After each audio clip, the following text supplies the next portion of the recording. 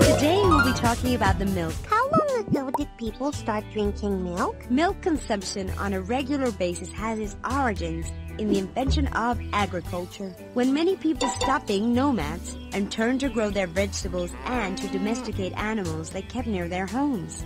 This change took place about 8,000 years ago. In time, it has been found out that milk has many properties which favor people's growth. Milk and its byproducts are the most complete natural foods. That's why we should drink a lot of it.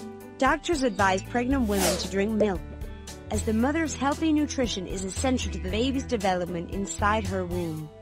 Milk consumption is especially recommended for children and teenagers in order to have healthy growth.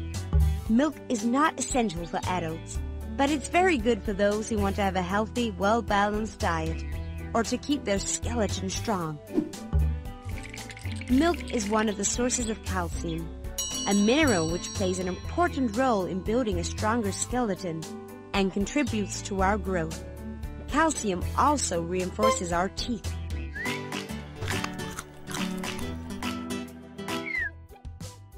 Today, Jamie and I learned that milk is an essential food, so we're going to drink it every day. Well, that's good. Milk is very important for a person's growth. I know. Why don't we invite our friends home for tea time? That's a great idea. Each of them can bring a milk byproduct to share with the rest. Well, I could teach you how to prepare homemade cream cheese. Yes! It'll be the funniest tea time ever! Hey, don't forget to subscribe and answer the question.